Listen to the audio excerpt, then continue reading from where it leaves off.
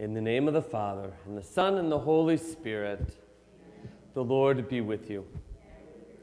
And my brothers and sisters, we come to celebrate this Mass. We first call to mind our sins.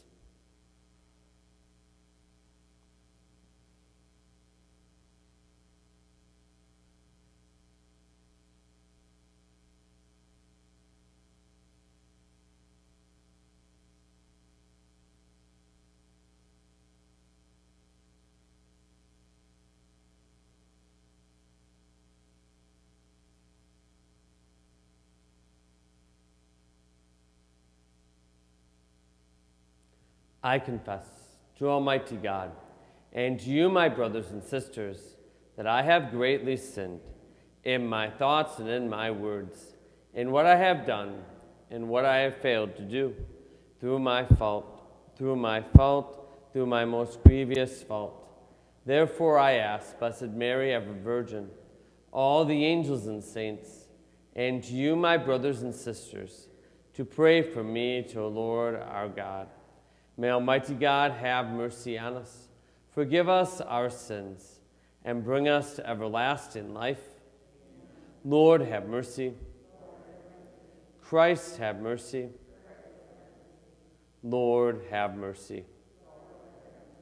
Let us pray.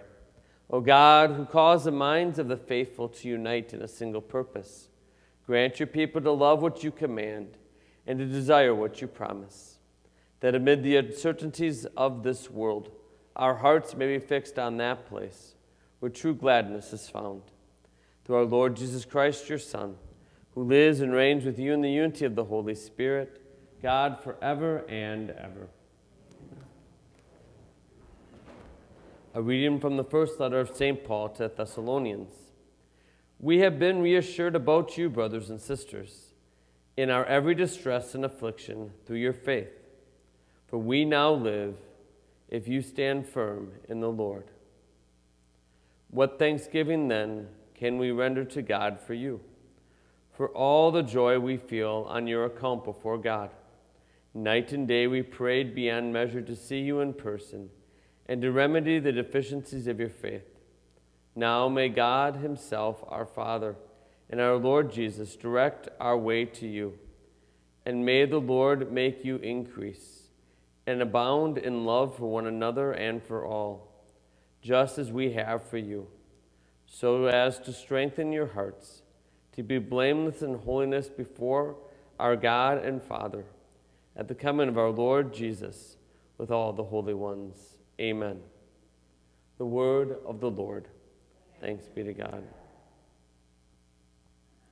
Fill us with your love, O Lord and we will sing for joy.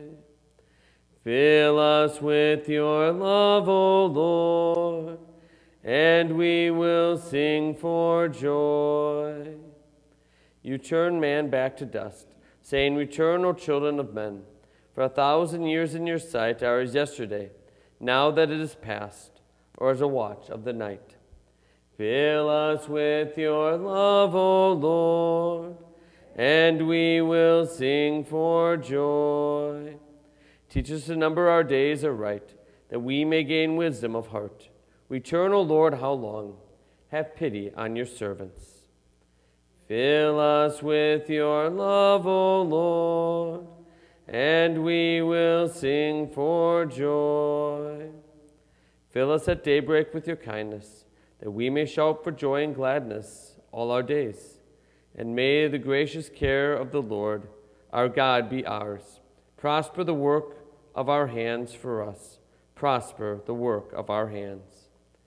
Fill us with your love, O Lord, and we will sing for joy.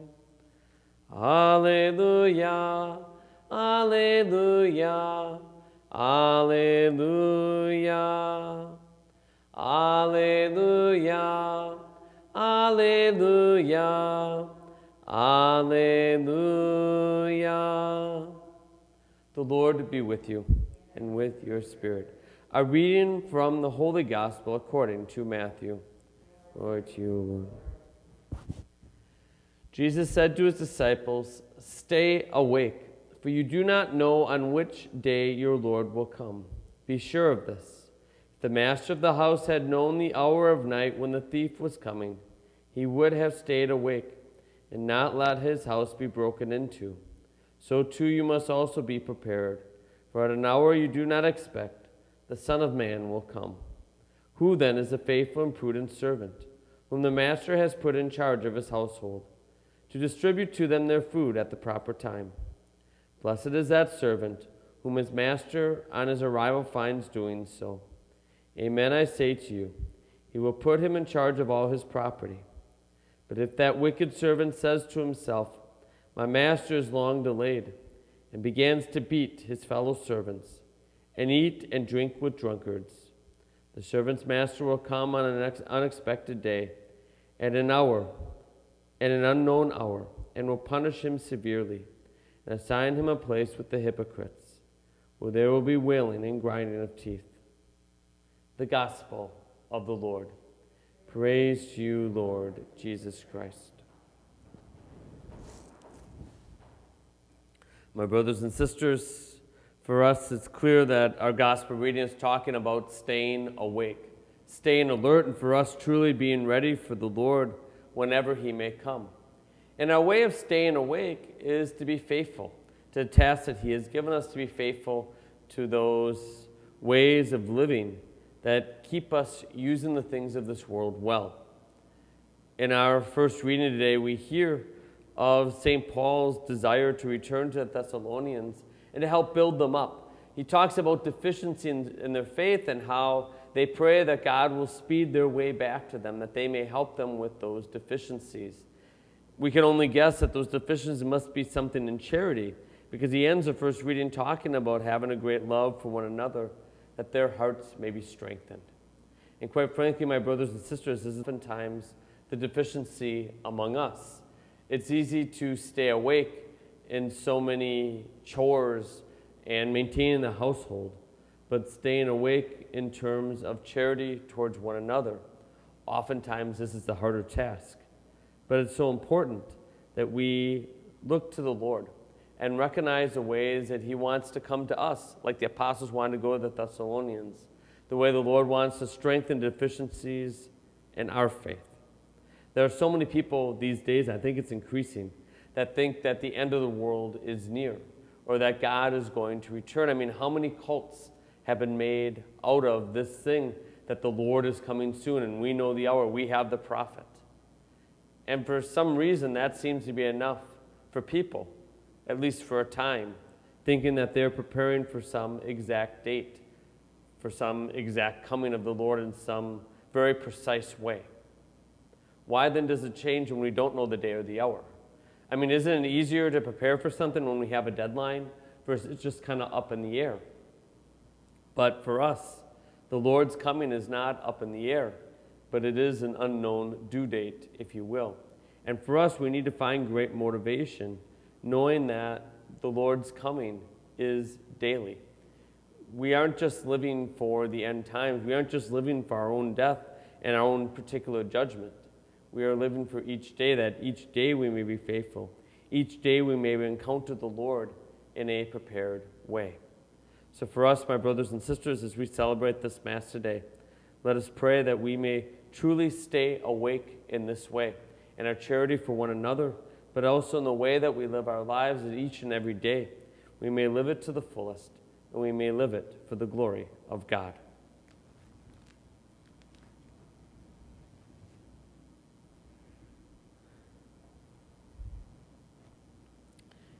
And as we come to this Mass, let us offer our prayers and petitions.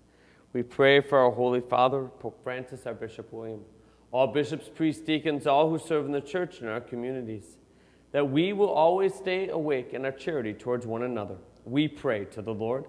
Lord, hear our prayer. Pray for all the sick and suffering, all those without hope, those who do not believe in God, and those who care for them. That they will know Christ's healing touch. We pray to the Lord. Lord, hear our prayer. We pray for our parish communities, our own families. We pray that we may always be strengthened and a desire to live each day to its fullest for the sake of one another. we pray to the Lord. Lord, hear our prayer. We pray for all those who have died, or those who will die this day, that they will know God's eternal love. We pray to the Lord. Lord, hear our prayer. And we pray for the intention for which we offer this Mass, for our St. Louis Parish, whose feast day is today. We pray to the Lord. Lord, hear our prayer. Heavenly Father, we thank you for hearing our prayers. Help us to be ever more faithful to you, that we may truly recognize the ways that you call us to a deeper charity and a deeper intentionality, that by staying awake in our faith, we may live each day for the glory of your kingdom. We ask this through Christ our Lord. Amen. As I mentioned in the petitions, today is the actual feast day of St. Louis. Of course, we celebrated it yesterday with the YouTube Mass, but today is the feast day of our, our parish. So we pray in a very special way for all our families and that we will continue to be inspired by our patron saint. Blessed are you, Lord God of all creation, for through your goodness we have received the bread we offer you. Fruit of the earth and work of human hands, it will become for us the bread of life. Blessed be God forever.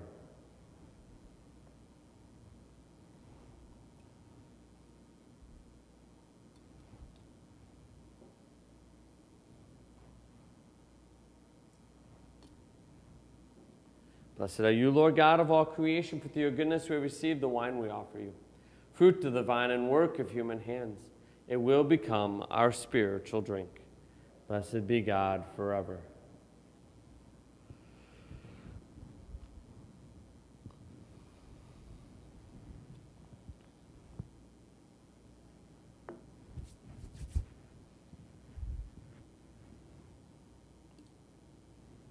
Pray, brothers and sisters, that my sacrifice and yours may be acceptable to God, the Almighty Father. May the Lord accept the sacrifice at your hands for the praise and glory of his name, for our good and good of all his holy church. O Lord, who gained for yourself a people by adoption, through the one sacrifice offered once for all, bestow graciously on us, we pray, the gifts of unity and peace in your church. Through Christ our Lord. The Lord be with you. Lift up your hearts. Let us give thanks to the Lord our God. It is truly right and just our duty in our salvation, always and everywhere to give you thanks, Lord, Holy Father, Almighty and eternal God. For just as through your beloved Son you created the human race, so also through him with great goodness you formed it anew. And so it is right that all your creatures serve you, all the redeemed praise you, and all your saints with one heart bless you. Therefore, we too extol you with all the angels. As in joyful celebration, we acclaim, Holy, holy, holy, Lord God of hosts. Heaven and earth are full of your glory. Hosanna in the highest. Blessed is he who comes in the name of the Lord. Hosanna in the highest. Hosanna in the highest.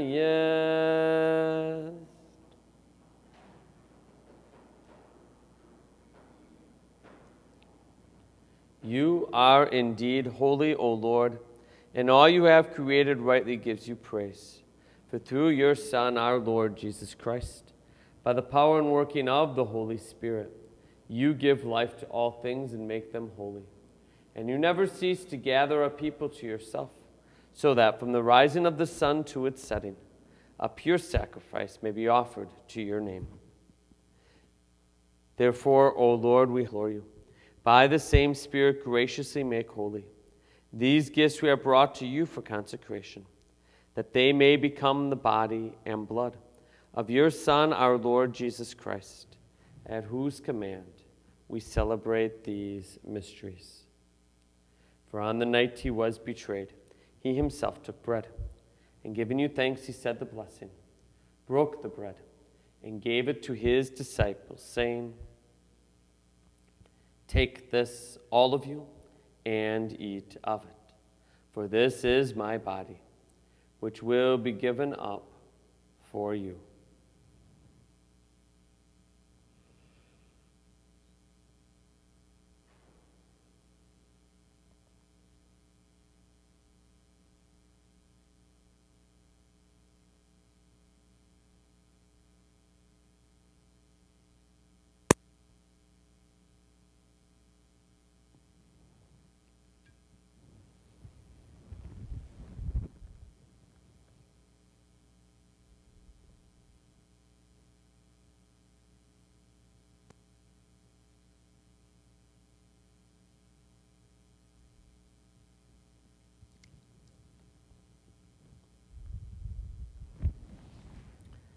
In a similar way, when supper was ended, he took the chalice.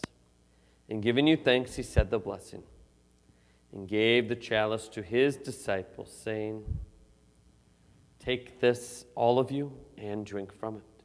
For this is the chalice of my blood, the blood of the new and eternal covenant, which will be poured out for you and for many, for the forgiveness of sins.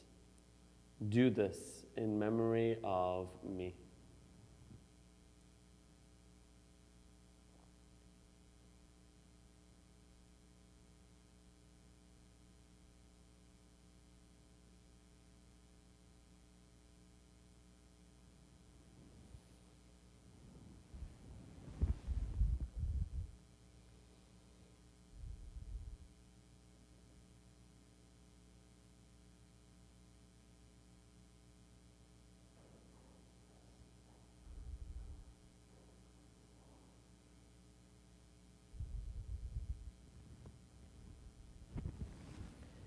The mystery of faith. We proclaim your death, O Lord, and profess your resurrection until you come, until you come again. Therefore, Lord, as we celebrate the memorial of the saving passion of your Son, his wondrous resurrection and ascension into heaven, and as we look forward to his second coming, we offer you in thanksgiving this holy and living sacrifice. Look, we pray upon the oblation of your church, and recognizing the sacrificial victim by whose death you willed to reconcile us to yourself. Grant that we who are nourished by the body and blood of your Son, and filled with his Holy Spirit, may become one body, one spirit in Christ. May he make of us an eternal offering to you, so that we may obtain an inheritance with your elect especially the most blessed Virgin Mary, Mother of God, with your blessed apostles and glorious martyrs, Saint Joseph, her most chaste spouse, Saint Louis with all the saints, on whose constant intercession in your presence we rely for unfailing help. May the sacrifice of our reconciliation, we pray, O Lord, advance the peace and salvation of all the world. Be pleased to confirm in faith and charity your pilgrim church on earth, with your servant Francis, our Pope, and William, our Bishop, the order of bishops, all the clergy, the entire people you have gained for your own. Listen grace to the prayers of this family, whom you have summoned before you. In your compassion, O merciful Father, gather to yourself all your children scattered throughout the world. To our departed brothers and sisters and all who were pleasing to you at their passing from this life, give kind admittance to your kingdom. There we hope to enjoy forever the fullness of your glory. Through Christ our Lord, through whom you bestow on the world all that is good through him and with him and in him, O God Almighty Father, in the unity of the Holy Spirit, all glory and honor is yours forever and ever. Amen. At the Savior's command, informed by divine teaching, we dare to say, Our Father who art in heaven, hallowed be thy name. Thy kingdom come, thy will be done, on earth as it is in heaven. Give us this day our daily bread, and forgive us our trespasses, as we forgive those who trespass against us. And lead us not into temptation, but deliver us from evil. Deliver us, Lord, we pray, from every evil. Graciously grant peace in our days, that by the help of your mercy, we may be always free from sin and safe from all distress, as we await the blessed hope and the coming of our Savior, Jesus Christ. For the kingdom, the power, and the glory are yours, now and forever. Lord Jesus Christ, who said to your apostles, Peace I leave you, my peace I give you. Look not on our sins, but on the faith of your church, and graciously grant her peace and unity in accordance with your will, who live and reign forever and ever. Peace, O Lord, be with you always. Let's offer each other the sign of peace.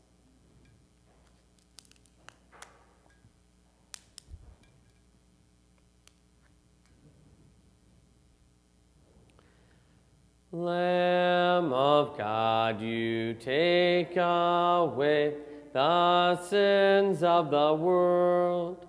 Have mercy on us. Lamb of God, you take away the sins of the world. Have mercy on us. Lamb of God, you take away the sins of the world. Grant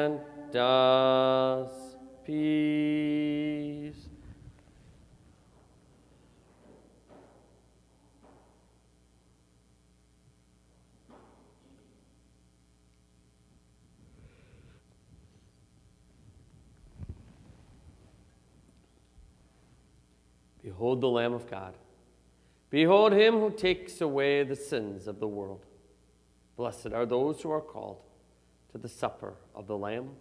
Lord, I am not worthy that you should enter under my roof, but only say the word, and my soul shall be healed.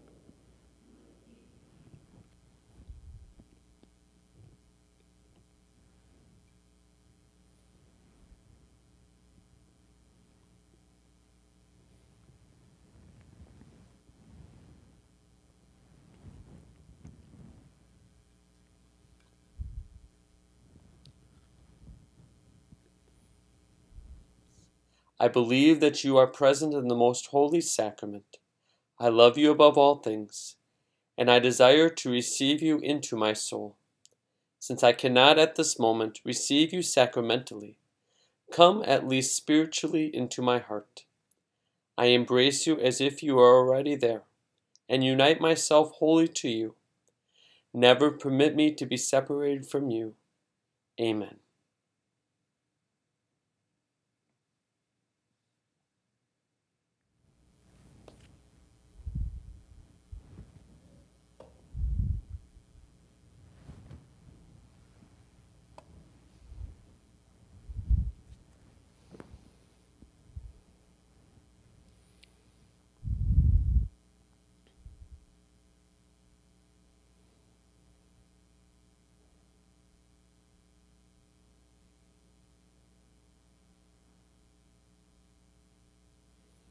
Let us pray.